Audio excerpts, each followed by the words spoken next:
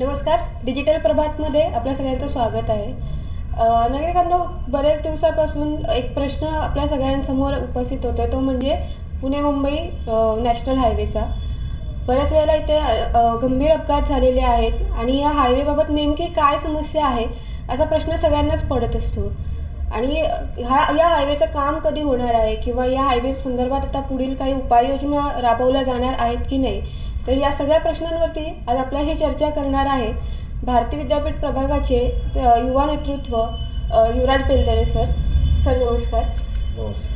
Sir Pune Mumbai जो बँगलोर आहे Pune Mumbai highway आहे जो आपल्याकडचा कात्रजपासून वडगाव जो ब्रिज आहे तर. त्या ब्रिजवरती नेहमी बरेच गंभीर अपघात अपघात आपल्याला बघायला मिळतात. तर त्या संदर्भात काय सांगाल की नेमकं काय कारण असतं? किंवा मग याच्या संदर्भात काय नेमक्या उपाययोजना राबवण्याची गरज तुम्हाला वाटते? तसं पाहिलं तर जो पुणे मुंबई हायवे आहे म्हणजे कात्रज ते नवले ब्रिज तो जवळजवळ गेल्या पंचवीस वर्षापूर्वी त्या ठिकाणी हा रस्ता झालेला आहे. आणि गेल्या पंचवीस वर्षामध्ये त्याच्यामध्ये कुठलंही एक्सटेन्शन त्या हायवेचं आज ताब्यात त्या ठिकाणी झालेलं नाही. परंतु गेल्या पाच ते सहा वर्षापासून आम्ही त्या ठिकाणी आपल्या भागाच्या लोकप्रिय खासदार सौ सुप्रियाताई सुळे यांच्या माध्यमातून त्या रस्त्यासाठी त्या रस्त्याला एक भरीव निधी यावा यासाठी प्रयत्न करतोय आणि आज सुप्रियाताईंच्या माध्यमातून केंद्रातनं त्या ठिकाणी नितीन गडकरी साहेबांनी जवळजवळ नव्वद कोटी रुपये या कात्रज ते नवले ब्रिज या रस्त्यासाठी त्या ठिकाणी दिलेले सुरुवातीला खरं तर त्या ठिकाणी त्या रस्त्याचा मालक कोण. याच्यावरनं खूप मोठा प्रश्न होता महापालिका म्हणत होते P W D P W D वाले बोलत होते एन एच आयचा विषय. म्हणजे सुरुवातीला त्याचा मालकच कोण ठरत नव्हता. परंतु ते असताना आज सुप्रियाताईंच्या माध्यमातून ज्यावेळेस बजेट आलं मग आज केंद्रातनं पी डब्ल्यू डीच्या माध्यमातून त्या रस्त्याचं त्या ठिकाणी काम चालू झालेलं आहे. आणि जवळजवळ नव्वद कोटी रुपयाचा तो निधी भरीव असा निधी त्या ठिकाणी आलेला आहे. परंतु हे करत असताना हायवेवाल्यांचं एक ढोबळ प्लॅनिंग त्याच्यामध्ये ज्या पद्धतीनं आज आंबेगाव पठाराचा परिसर आला असेल आणि अलीकडं दत्तनगरचा परिसर असेल. आज आपल्याला माहिती आहे की खूप मोठ्या प्रमाणात त्या ठिकाणी आज डेव्हलपमेंट झालेली आहे. आणि ज्यावेळेस हायवेचं काम होत असतं त्यावेळेस जे काही डीपी रोड आहे त्याला कनेक्ट करण्याचं काम हायवेने त्या ठिकाणी केलं पाहिजे. परंतु ते त्याच्यामध्ये नव्हतं. आणि ज्यावेळेस आम्ही सूचना केल्यानंतर दोन भुयारी मार्ग त्या ठिकाणी सँक्शन झाले. परंतु आज फक्त निधी अभावी त्याच्यामध्ये अनेक त्या ठिकाणी अडचणी आल्या. मग ते झाल्यानंतर आम्ही या भागाच्या खासदार सुप्रियाताई सुळे त्याचप्रमाणे आपल्या राज्याचे उपमुख्यमंत्री नामदार अजितदादा पवार पालकमंत्री पुणे शहराचे. दादांची भेट घेतल्यानंतर कशा पद्धतीनं ज्या काही या रस्त्याच्या बाबतीतल्या त्रुटी आहेत त्या कशा पद्धतीने आपल्याला दूर करता येतील याच्या बाबतीत एक मिटिंग दादांशी केली. आणि दादांनी ते झाल्यानंतर आज जरी हे बजेट आलं असताना पुणे महानगरपालिका ज्या आज बी जे पीची त्या ठिकाणी सत्ता आहे. सत्ताधारी कुठलंही सहकार्य त्या रोडच्या बाबतीत करत नव्हते. आम्ही गेल्या दोन वर्षापासून त्या रोडच्या बाजूनी दोन्ही बाजूनी पाण्याच्या लाईन असतील त्याचप्रमाणे ड्रेनेज लाईन असेल किंवा बाकीच्या युटिलिटी शिफ्टिंग करण्याच्या बाबतीतलं बजेट आहे ते त्या ठिकाणी मागत होतो. परंतु हे जे सत्ताधारी त्यांचे प्रतिनिधी नगरसेवक या भागात नसल्यामुळं त्या गोष्टीला अनेक प्रकारे अडचण करत होते. परंतु ज्यावेळेस अजितदादांना भेटल्यानंतर अजितदादा असतील सुप्रियाताई असतील पुणे महानगरपालिकेचे आयुक्त विक्रम कुमार साहेब असतील यांच्यासोबत मिटिंग झाल्यानंतर एक चारच दिवसामध्ये या युटिलिटी शिफ्टिंगसाठी ड्रेनेज असेल पाणी असेल याच्यासाठी जवळजवळ दहा कोटी चोवीस लाख रुपयाचा निधी महापालिकेकडनं आज त्या ठिकाणी हायवेला देण्यात आलेला आहे. लवकरच त्या बाबतीत सुद्धा ती कामं होऊन त्या गोष्टी मार्गी लागतील त्याचप्रमाणे वंडर सिटी ते राजेश चौक. त्याचं सुद्धा सुप्रियाताईंच्या प्रयत्नानं जवळजवळ एक कोटी एकशे सव्वीस कोटी रुपये ओव्हरब्रिजसाठी त्या ठिकाणी आलेले आहेत. ओके. त्याचंही काम त्याचं टेंडर येणाऱ्या एक महिनाभरामध्ये त्या ठिकाणी होईल. हा कोरोनाचा काळ असल्यामुळे थोडंसं लेट झालं. परंतु ते काम सुद्धा लवकरात लवकर त्या ठिकाणी चालू होईल. म्हणजे हायवेला सपोर्टिव्ह बरेच अजून चांगले डेव्हलपमेंट प्रोजेक्ट या भागामध्ये आपल्याला लवकरच बघायला मिळेल. जेणेकरून हायवेवरती जो लोड असतो वाहनांचा लोड म्हणा तर तो कमी होण्यामध्ये त्याच्यामध्ये मदत शंभर मिळते. टक्के म्हणून कारण काय होतं की आज कितीतरी ऍक्सिडेंट त्या ठिकाणी झालेले आहेत. आज आपण पाहतोय की महिनाभरामध्ये म्हणजे दोन तीन दोन तीन मोठे ॲक्सिडेंट त्या ठिकाणी होत असतात. अनेक निष्पाप नागरिकांचे त्याच्यामध्ये बळी गेले परंतु हे कुठलंही काम हायवेला असतागत न झाल्यामुळे या गोष्टी होत होत्या. येणाऱ्या वर्षभराच्या काळामध्ये हम्म.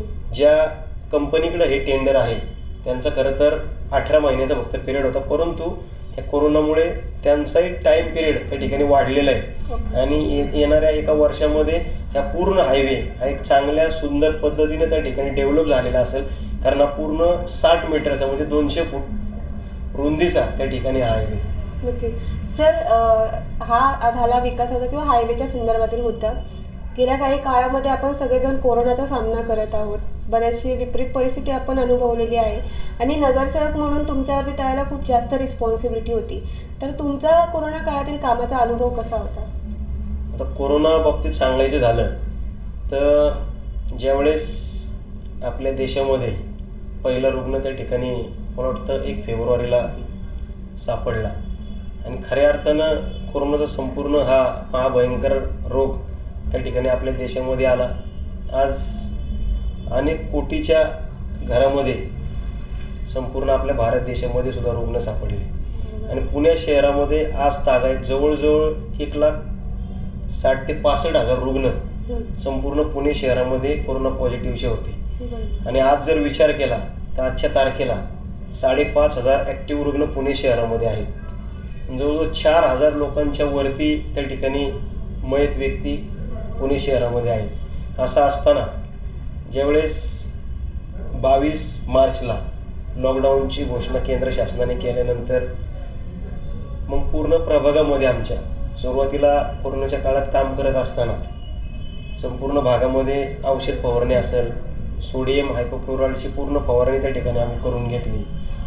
आणि आज जर आपला हा संपूर्ण भारतीय विद्यापीठ कात्रज आंबेगावचा परिसर असेल तर परप्रांतीय मजूर असतील परप्रांतीय विद्यार्थी असतील यांचं प्रमाण आपल्याकडे अनेक शिक्षण संस्था असल्यामुळं अनेक बाहेरचे विद्यार्थी या भागामध्ये त्यांचं प्रमाण जास्त असल्यामुळे सुरुवातीलाच आम्ही आमच्या ट्रस्टच्या माध्यमातून पक्षाच्या माध्यमातून याच्यामध्ये अनेक दानशूर व्यक्तींनी आमची मदत केली. पूर्णपणे टिफिन जेवणाचे टिफिन सुरुवातीला तीनशे लोकांपासून शेवटच्या दिवसाला बाराशे अन्नाचे फूड पॅकेट्स आम्ही त्या ठिकाणी बनवत होतो. जवळजवळ पंच्याहत्तर दिवस पूर्ण आम्ही आमच्या भागामध्ये लोकांना फूड पॅकेट्स त्या ठिकाणी देण्याचं काम केलं. त्याच्यानंतर सुरुवातीला भाजीचा विषय असेल ज्या पद्धतीने लोकांना ज्या प्राथमिक गरजा आहे त्याच्यामध्ये ज्या गोष्टींची पूर्तता होत नव्हती ते आमच्या कार्यकर्त्यांच्या माध्यमातून कशा पद्धतीनं स्वस्त दरामध्ये प्रत्येक नागरिकाला मिळेल त्याच्यावरती आम्ही काम केलं. त्याच्यानंतर अनेक गरजू कुटुंब असतील गरीब कुटुंब असतील जवळजवळ दीड ते दोन हजार लोकांना आम्ही धान्याचे किट त्या ठिकाणी वाटले. कोरोनासारख्या महाभयंकर आजारामध्ये रक्तदान शिबिराचं त्या ठिकाणी आयोजन केलं. पोलिसांच्या बरोबर किंवा डॉक्टर्स असतील या भागातले त्यांच्या वतीनं हे बाबा जनजागृती करण्याचं काम किंवा कशा पद्धतीनं आपण या कोरोनाच्या काळामध्ये सर्वसामान्य नागरिकांनी त्या ठिकाणी वागलं पाहिजे? सोशल डिस्टन्सिंग असेल सॅनिटायझर असेल मास्कचा वापर असेल त्याच्यावरती सुद्धा आम्ही काम केलं. संपूर्ण प्रभागामध्ये जवळजवळ पन्नास हजार मास्क त्याच्यानंतर सॅनिटायझरचे स्टँड चारशे सोसायट्यांना सॅनिटायझरचे स्टँड असतील त्याचं आम्ही वाटप केलं. आर्सेनिक अल्बम थर्टीच्या गोळ्या त्या पंधरा हजार किट त्या ठिकाणी लोकांना वाटलं. म्हणजे जेणेकरून ज्या गोष्टी या आपल्या भागातील नागरिक असतील किंवा उपनगरीय भागातील या पुणे शहरातील नागरिक असेल त्यांना कशा पद्धतीनं कोरोनापासून आपलं संरक्षण होईल त्या पद्धतीचं काम संस्थेच्या माध्यमातून आम्ही केलं. आणि ज्यावेळेस म्हणजे असा एकही दिवस नव्हता लॉकडाऊनमध्ये जवळजवळ पंच्याहत्तर ते ऐंशी दिवस पुणे शहरामध्ये आपलं लॉकडाऊन होतं देशामध्ये लॉकडाऊन होतं. पण असा एकही दिवस नव्हता ज्या दिवशी आम्ही घराच्या बाहेर नाही. म्हणजे कंटिन्यू लॉकडाऊनमध्ये सुद्धा संपूर्ण प्रभागामध्ये कशा पद्धतीनं बाबा रुग्ण कमीत कमी सापडतील किंवा जे रुग्ण त्या ठिकाणी सापडले सुरुवातीला रुग्ण सापडल्यानंतर किंवा आजही रुग्ण सापडल्यानंतर ते पूर्ण फॅमिली डिस्टर्ब होते. आणि मग ते करत असताना त्यांना कशा पद्धतीने मानसिक आजार देणे त्याच्यानंतर त्या रुग्णाची हॉस्पिटलमध्ये व्यवस्था करणे त्याला चांगल्या पद्धतीचे उपचार कशा पद्धतीने भेटतील या सगळ्या गोष्टीवरती आम्ही त्या ठिकाणी काम केलं. विविध हॉस्पिटल मग आपल्या भागामध्ये भारतीय हॉस्पिटल असेल ओरा हॉस्पिटल असतील जे काही कोविडसाठी हॉस्पिटल घेतले होते. मग त्याच्यामध्ये बिलिंगच्या बाबतीत सुद्धा खूप इश्यू सर्वसामान्य लोकांचे होते. त्यांना आपण सुरुवातीला पाहिलं की कशा पद्धतीने तीन तीन चार चार पाच पाच लाख रुपये हॉस्पिटलवाले बिलं त्या ठिकाणी घेत होते. वरून त्या बाबतीत सुद्धा डॉक्टरांशी भेटून कशा पद्धतीने योग्य बिल शासनाच्या नियमानुसार आपण करावं याच्या बाबतीत सुद्धा अतिशय चांगल्या पद्धतीचं काम आम्ही संपूर्ण परिसरामध्ये आमच्या संपूर्ण प्रभागामध्ये त्या ठिकाणी नक्की सर आणि अशाच कामांमुळे लोकांमध्ये जो एक मानसिक आधार पण त्याच्यामुळे मिळतो की हां आपले जे प्रतिनिधी आहेत ते या संकटसमयी पण लोकांसाठी मदतीसाठी तिथे उभे आहेत. सर हे तर झालं की कोरोनाच्या संदर्भातलं. पण आता या पुढील काळामध्ये आपल्याकडे नेमके काय काय उद्दिष्ट असणार आहे? किंवा काय प्रकल्प या पुढील काळात तुम्ही हे करणार आहात? आणि विशेषतः निधीच्या संदर्भात जर बोलायचं झालं तर त्या संदर्भात काय माहिती द्याल? खरं तर निधीच्या बाबतीत सांगायचं झालं तर आम्ही विरोधी पक्षातले नगरसेवक त्या ठिकाणी पुणे महानगरपालिकेत काम करतो प्रत्येक वर्षी आम्हाला दोन ते अडीच कोटी रुपयाचा निधी फक्त उपलब्ध होत आहे परंतु हे सगळं असताना सुद्धा वेगवेगळ्या माध्यमातून जवळजवळ गेल्या तीन वर्षामध्ये मी पंचवीस कोटीचं काम या भागामध्ये केलं. मग त्याच्यामध्ये ते काम करत असताना आज राजमाता उद्यान असेल त्याचप्रमाणे आंबेगाव पठारावरती छत्रपती संभाजी महाराज क्रीडांगण असेल जांभूळवाडी रोडला क्रीडांगण असेल संपूर्ण परिसरामध्ये आपल्या प्रभागामध्ये ऐंशी टक्के रस्ते आम्ही त्या ठिकाणी कॉन्क्रीट केले त्याच्यानंतर ज्या पद्धतीनं निवडणुकीच्या आधी आम्ही आमच्या परिसरातील नागरिकांना काही आश्वासनं दिली होती. ज्या ॲम्युनिटी स्पेसच्या जागा आमच्या संपूर्ण प्रभागामध्ये आरक्षणाच्या ज्या जागा होत्या जवळजवळ वीस ते बावीस एकर जागा त्या ठिकाणी आरक्षित होती. पण आम्ही त्या लवकरात लवकर ताब्यात घेऊन विविध विकास कामं विविध प्रकल्प त्या ठिकाणी करण्याचं काम आत्ताही चालू आहे. फालीनगरमध्ये ओपन मार्केटचं आरक्षण त्या ठिकाणी आम्ही तीन मजली बहुउद्देशीय संकुल करतोय. त्याचप्रमाणे स्मार्ट सिटीच्या माध्यमातून दोन ठिकाणी मग आंबेगाव रोड असेल त्याचप्रमाणे फालेनगरमध्ये एक थीम पार्क त्याचंही काम त्या ठिकाणी चालू आहे. म्हणजे येणाऱ्या काळामध्ये एक अतिशय चांगला प्रभाग आज संपूर्ण पुणे शहरामध्ये आमचा त्या ठिकाणी कशा पद्धतीने असेल याच्यावरती आमचं काम त्या ठिकाणी चालू आहे. कारण या भागामध्ये हा उपनगरीय भाग आहे. संपूर्ण डेव्हलपमेंट या ठिकाणी चालू आहे. परंतु आज जर पाहिलं तर विरोधी पक्षातले नगरसेवक असल्यामुळं आमच्याकडं कुठल्याही मोठ्या निधींची तरतूद त्या ठिकाणी सत्ताधाऱ्यांकडनं केली जात नाही. मग त्या काळामध्ये कशा पद्धतीनं आपण काम करायचं कशा पद्धतीनं आपण संबंध निर्माण करून बजेट आणायचं ह्याच्यावरती काम चालू आमचं त्या ठिकाणी असतं. त्याच्यामध्ये निश्चितच आमच्या भागाच्या खासदार सुप्रियाताई सुळे असतील आमच्या पक्षाचे आमच्या समपक्षाचे आमदार असतील त्यांचं कायम त्या ठिकाणी सहकार्य लाभतंय. कशा पद्धतीने या भागाला जास्तीत जास्त सोयीसुविधा आपल्याला देता येतील कारण आज आपण पाहिलं की जी नव्यानं अकरा गावं पुणे महानगरपालिकेत समाविष्ट झाली. मग त्याच्यामध्ये आंबेगाव बुद्रुक असेल आंबेगाव खुर्द ही पहिलीच औषधं गावं त्या ठिकाणी होती. परंतु ही दोन्ही गावं आल्यानंतर आज त्या अकरा गावांची निवडणूक झाली आणि आपल्या सगळ्यांना माहिती चित्र काय आहे. दोन लाख वीस हजार मतदारांमध्ये दोन नगरसेवक त्या ठिकाणी नेमले गेले. निवडून आले. परंतु दोन टोकाचे नगरसेवक त्या ठिकाणी होते. त्याच्यामुळं विकास कामांच्या बाबतीत अनेक अडचणी आमच्या गावांना त्या ठिकाणी भोगाव्या लागतात. परंतु ते सगळं असताना आम्हाला संलग्न असल्यामुळं कायम त्या ठिकाणी सुद्धा आम्ही लक्ष देतोय. आणि आमच्या भागातील नागरिकांना कुठलीही अडचण होणार नाही याच्या याच्यासाठी त्या ठिकाणी काम करतोय.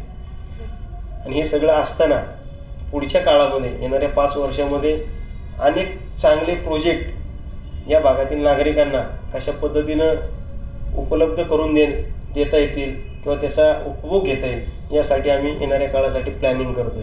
त्याच्यामध्ये खूप गोष्टी आहेत. या भागामध्ये आत्तापर्यंत कुठलंही मोठं पद न आल्यामुळं अनेक बाबतीमध्ये बजेटची अडचण आली. परंतु आता भविष्यामध्ये चांगलं पद त्या ठिकाणी आल्यानंतर निश्चितच खूप मोठ्या प्रमाणात आपल्याला विकास काम करता येईल. कारण आपण पाहिलं तर जांभूळवाडी तलाव असेल एक चांगला प्रकल्प त्या ठिकाणी होऊ शकतो.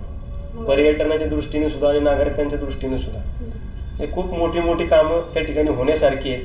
परंतु सत्तेच्या बाबतीत एक आमच्या पक्षाची पुणे महानगरपालिकेत विरोधी पक्षनेते म्हणून आम्ही असल्यामुळं बजेटच्या बाबतीतल्या ज्या काही अडचणी या निश्चितच येणाऱ्या काळामध्ये आम्ही सत्तेत आल्यानंतर शंभर टक्के ती मोठ्या स्वरूपातली कामं करू हे मी सांगू इच्छितो.